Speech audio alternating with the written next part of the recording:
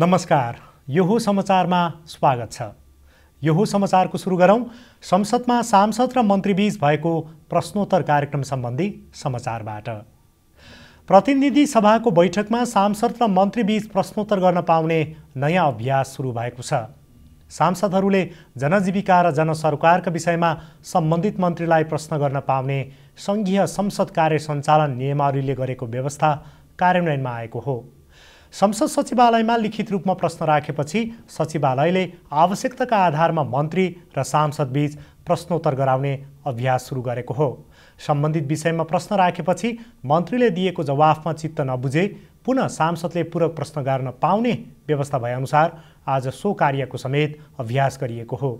प्रतिनिधि सभाको आजको बैठकमा सांसदहरूले गृहमन्त्री रामबहादुर थापा कृषि तथा पशुपक्षी विकास मन्त्री चक्रपाणी खनाल महिला बालबालिका तथा ज्येष्ठ नागरिक मन्त्री थम्माया थापा वन तथा वातावरण मन्त्री शक्तिबहादुर बस्नेत र अर्थमन्त्री डाक्टर युवराज खतिवडालाई प्रश्न सोध्नु भएको थियो। सांसद देवेन्द्र राज कणेलले गृहमन्त्री रामबहादुर थापालाई दुई हजार पचहत्तर साल साउन एक्काइस गते भक्तपुरको काँडा घारीबाट अपहरित एघार वर्षीय बालक निशान खड्काको हत्यामा संलग्न भनिएका गोपाल तामाङ र अजय तामाङलाई गरिएको इन्काउन्टरबारे प्रश्न गर्नुभएको थियो। उक्त प्रश्नको जवाफमा गृहमन्त्री थापाले प्रहरीले आत्मसुरक्षाका लागि गोली चलाउँदा गोपाल र अजयको मृत्यु भएको सदनलाई जानकारी गराउनुभयो। सम्बन्धित निकायहरू विशेष गरेर चाहिँ अनुसन्धानमा लागेका प्रहरीहरूलाई चाहिँ उनीहरूको लापरवाहीको निम्ति सरकारले कारवाही गरिसकेको छ जो यसित सम्बन्धित थिए। यस्तै सांसद डिला सङ्ग्रौलाले निर्मला पन्तको बलात्कार र हत्या र सिंहदरबारमा लुकेको भन्दै अपराधी कहिले पक्राउ पर्छन् भन्दै गृहमन्त्री थापालाई प्रश्न गर्नुभएको थियो। उहाँको प्रश्नमा गृहमन्त्री थापाले पन्तको हत्या र जहाँसुकै भए पनि कानुनी दायरामा ल्याउने प्रतिबद्धता व्यक्त गर्नुभयो। उहाँले बालुवाटार सिंहदरबार जहाँसुकै भए पनि अपराधीले छुट नपाउने र कानुनी कारवाही गरेरै छाड्ने बताउनुभयो। मुडमा यहाँ ती अपराधीहरू बालुवाटारमा छन् कि अथवा सिंहदरबारमा छन् भन्ने जे प्रश्न उठाउनु भएको छ उठाउनु अपराधीहरू जहाँसुकै हुन् ती कानुनको कटघरामा आउनेछन् र राज्यले चाहिँ पीडितहरूलाई न्याय दिनेछ भन्ने म यहाँ प्रतिबद्धता जाहेर गर्न चाहन्छु। सांसद गगन थापाले उप प्रधानमन्त्री एवं रक्षा मन्त्री ईश्वर पोखरेलले पाँच दिनभित्र सार्वजनिक गर्ने घोषणा केही समय अगाडि गर्नुभएको थियो तर अपराधी किन पत्ता लागेनन् भन्दै गृहमन्त्री थापालाई प्रश्न गर्नुभएको थियो। सांसद थापाको प्रश्नमा गृहमन्त्री थापाले रक्षा मन्त्री पोखरेलले सरकारले छिट्टै अपराधी पत्ता लगाउँछ भन्ने आशयका आधारमा उक्त धारणा राख्नु भएको हुन सक्ने जानकारी दिनुभयो। प्रश्नोत्तरमा भाग लिएपछि संसद परिषदमा भेटिएका सांसदहरू र मन्त्रीहरूले सरकारलाई जिम्मेवार र जवाफदेही बनाउन यस सत्रले मद्दत पुग्ने प्रतिक्रिया दिनुभएको छ। हेरौँ यो प्रतिक्रिया। सरकारका गतिविधि सरकारका निर्णयहरू र क्रियाकलापलाई जनसम्मक्ष रूपमा यथार्थ रूपमा राख्नका लागि नै यो प्रश्न उत्तरलाई राखिएको हो र आज सुरु भएको छ।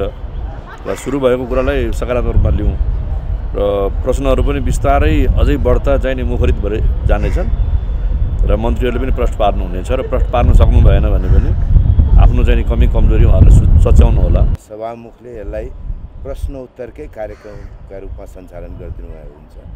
यो भने मन्त्रीहरूलाई धन्यवाद दिनलाई अब थरी थरी सत्ताका सांसदहरूले उभिएर धन्यवाद प्रस्ताव पारित गर्नलाई प्रश्नोत्तरको क्रममा यतिवटा धन्यवाद प्रस्ताव पारित भयो भन्ने रूपमा उपयोग नगरियोस्।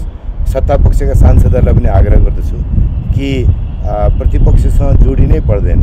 तर सांसदको रूपमा तपाईँले प्रतिनिधित्व गर्ने जनताको दुःख मार्खाको बारेमा सरकारलाई सचेत गर्ने प्रश्न गर्ने काम गर्नुभयो भने सरकार त्यसरी काममा यथेष्ट दबाब महसुस गर्यो काम गर्न थाल्यो भने त्यसै आम नागरिकले धन्यवाद दिँदै दिइहाल्छन् नि।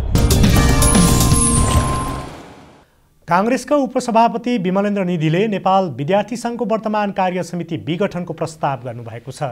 नेपाली काङ्ग्रेस केन्द्रीय कार्य समितिमा बैठकमा सभापति शेरबहादुर देउबाले नेविसङ्घ के गर्ने भन्ने प्रस्ताव राख्नु भएको थियो।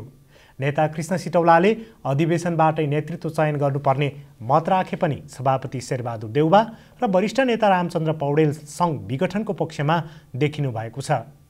कानुनसँगै राजनैतिक रूपमा पनि वर्तमान कार्य समितिको औचित्य सकिएको भन्दै उपसभापति निधिले वर्तमान कार्य समिति भङ्ग गरेर तदर्थ समिति बनाउन प्रस्ताव गर्नुभएको थियो।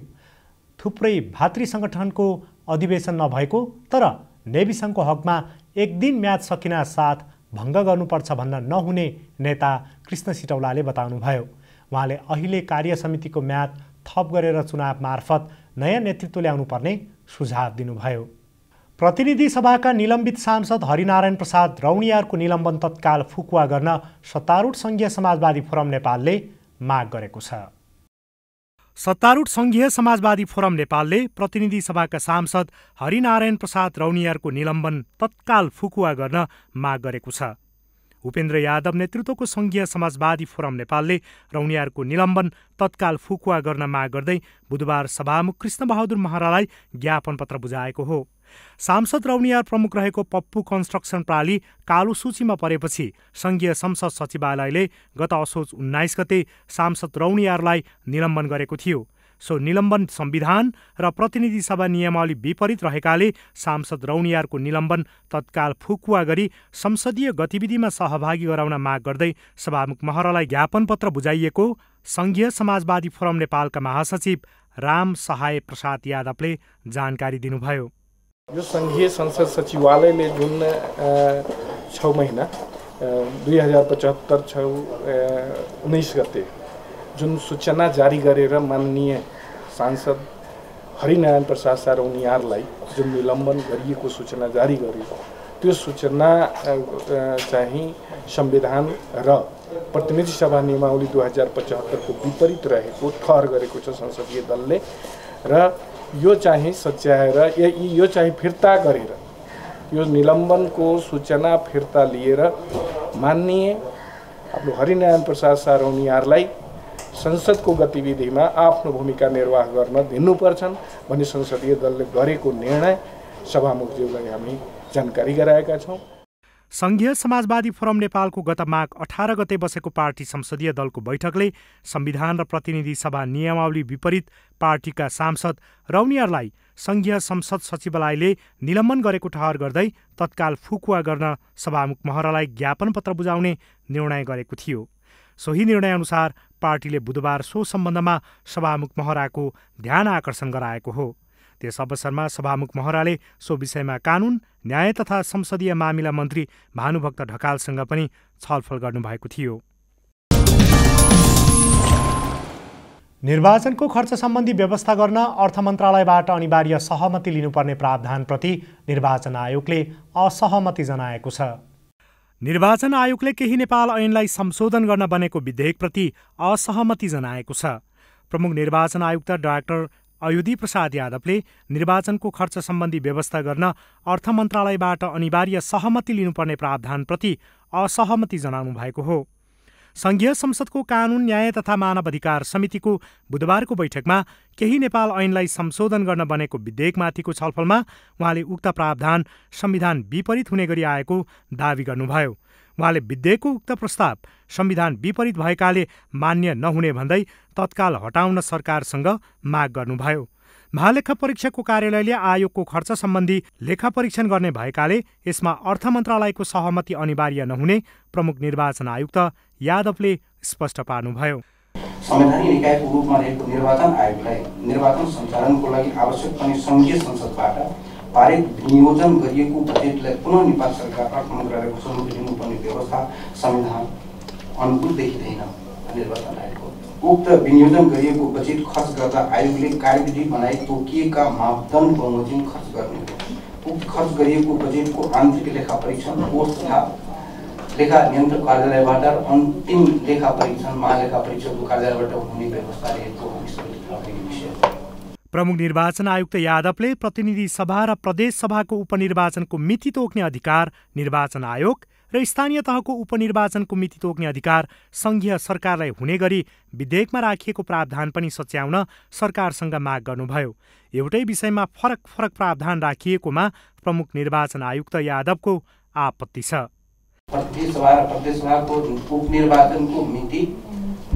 निर्वाचन आयोगले तोक्नेछ। भनेर व्यवस्था छ प्रतिनिधि निर्वाचन ऐनमा त्यो पनि नेपाल सरकारको परामर्श भन्ने कुरा छैन त्यसमा। त्यो परामर्श पनि हुनुपर्ने थियो। नेपाल सरकारले तोक्ने मितिमा नेपाल सरकारले निर्वाचन आयोगसँग परामर्श गरेर तोक्ने भनेर लेखिएको छ। नेपाल सरकारलाई त्यो बाध्यात्मक गरिएको छ। निर्वाचन आयोगको निर्वाचनमा त्यो पनि व्यवस्था नभएको हुनाले त्यो पनि एउटा म आग्रह गर्न चाहन्छु कि जुन व्यवस्था छ एकरूपता नभएको त्यसमा छ। निर्वाचन आयोगले सरकारसँग परामर्श गरेर सबै तहको निर्वाचनको मिति घोषणा गर्ने अधिकार आयोगलाई दिने कानुनी व्यवस्था गर्न सरकारसँग आग्रह गर्दै आएको छ। ललितपुर महानगरपालिकाले माग्ने मुक्त सहर बनाउने भएको छ।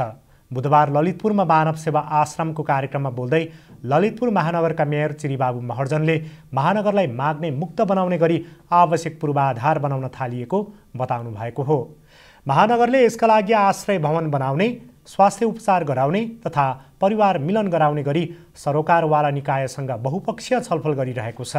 मेयर महर्जनले ललितपुर महानगरले आगामी आर्थिक वर्षबाट मानवीय र सामाजिक कार्यमा उल्लेख्य बजेट व्यवस्था गरेर कार्यक्रम अगाडि बढाउने बताउनुभयो।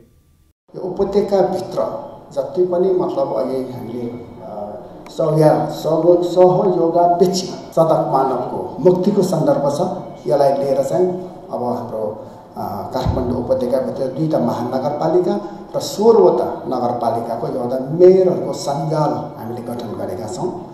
र यो सञ्जालमा चाहिँ यो कुरा चाहिँ म उठाएर यो भ्यालीभित्रकै भ्यालीभित्र नै यसलाई चाहिँ कसरी समस्या समाधान गर्न सकिन्छ भन्नेतर्फ पनि म चाहिँ यो कुरा उठाउने मैले यहाँ जाहेर गरेँ ललितपुर महानगरपालिकाले मानव सेवा आश्रमको सहयोगमा सडकमा माग्ने मानिसहरूलाई आश्रयस्थलमा पठाउने गरेको छ।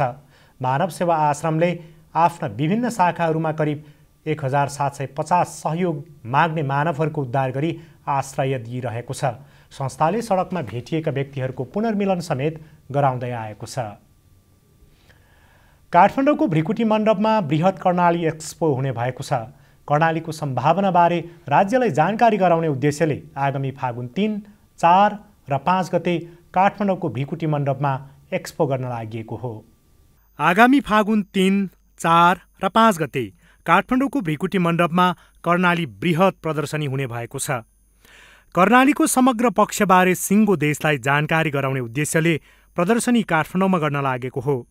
मुलुकलाई समृद्ध बनाउने सम्भावनाहरूको खानी रहेको कर्णाली प्रदेशबारे सिङ्गो मुलुकलाई जानकारी गराउने उद्देश्यले प्रदर्शनी काठमाडौँमा गर्न लागेको प्रदर्शनी आयोजक समितिका संयोजक उपेन्द्र शाहीले जानकारी दिनुभयो। बुधबार काठमाडौँमा पत्रकार सम्मेलन गरी उहाँले कर्णाली सभ्यता संस्कृति र प्राकृतिक सम्पदाको दृष्टिले सम्पन्न भएकाले यसबारे काठमाडौँलाई विस्तृत जानकारी गराउने समग्र प्रदर्शनीमा राखिने उहाँले बताउनुभयो। गौरवका पानाहरू र सम्भावनाका खानीहरूको उत्सव भनेका छौँ त्यसै गरेर इङ्ग्लिसमा हामीले अझै यसलाई पनि बेटर भनौँ न। Showcasing the magnificence of our past and possibilities of our future भनेको छौँ क्या एक्सपो भनेको छौँ एक्सपोज गर्ने हो। प्रणाली के हो देखाउने हो। प्रणालीका जुन सकारात्मक पाटाहरू छन् प्राकृतिक सुन्दरता होला खस भाषा र सभ्यताका कुराहरू होलान्।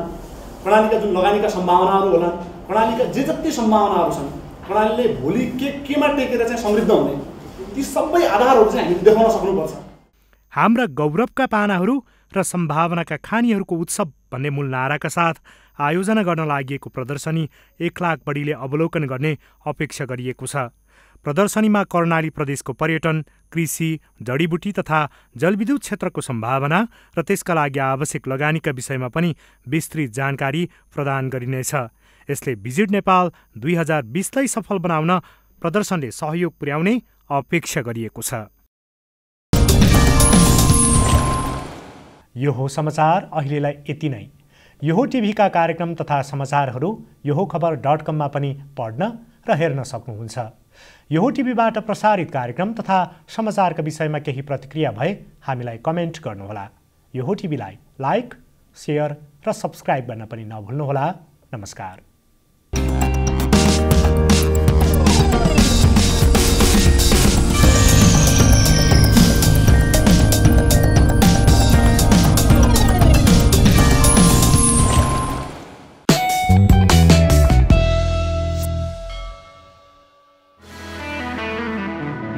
This is Yoho TV.